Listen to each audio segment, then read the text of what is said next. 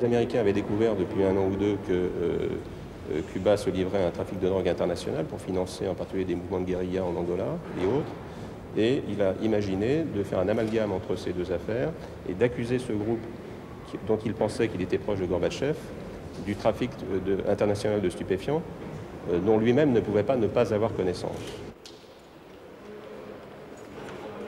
Eh, que yo traigo es eh, de tráfico de droga contra Fidel, o sea, de responsable Fidel Castro y eh, crimen contra la humanidad en el sentido que él organizó el asesinato político de mi padre.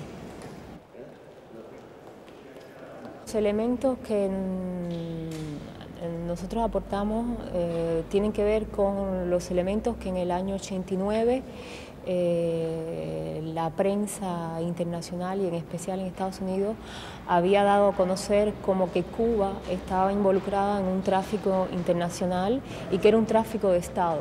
O sea, era un tráfico que estaba organizado por las más altas esferas del país, del cual Fidel Castro no podía dejar de estar al corriente.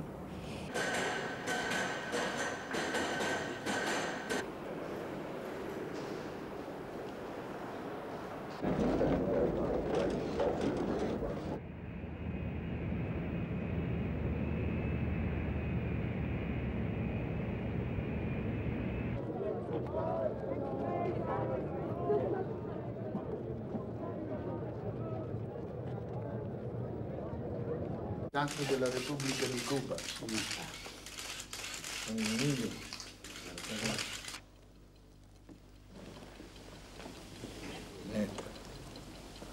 Buenos días.